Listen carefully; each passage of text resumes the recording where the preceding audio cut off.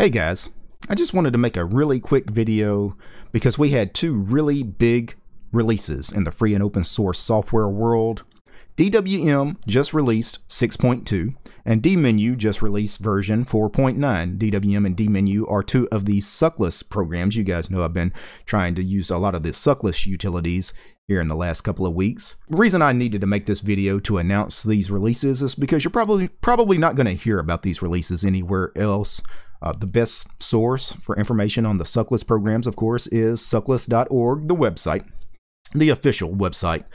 And on the homepage, there is news, and you see February 3rd, 2019, DWM 6.2 released.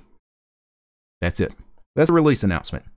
Uh, no real information, no change log. I guess a real release announcement or a change log, maybe that would be considered bloat to the suckless guys. I don't know. Dmenu 4.9 released. That's your release announcement for dmenu 4.9. Doesn't tell me what was added in version 4.9 or what was removed from 4.9 from you know the previous version 4.8 doesn't tell me anything about it. I don't even know for example if i wanted to move to dwm uh, 6.2 from 6.1 because without telling me exactly what's changed i may just want to stick to the older version. I don't know. Without a release announcement without a change log how could anybody make this kind of decision? Well, you're not going to find uh, anything on the website. Now, if you happen to be subscribed to the mailing list, over on the mailing list, I guess there was a post that could, could be considered a release announcement. Quote, I'm glad to announce the new DWM and dmenu releases. And other than that, the only other information you get is these releases are the last ones that contain XFT support, which will be removed in the releases to follow these two releases. So these will be the last versions of DWM and dmenu that have XFT support. What do I think about that? Ugh.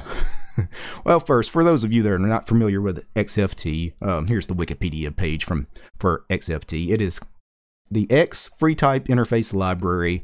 Basically, what this is, it gives us nice fonts. It helps give us nice anti-aliased fonts with the X Windows system.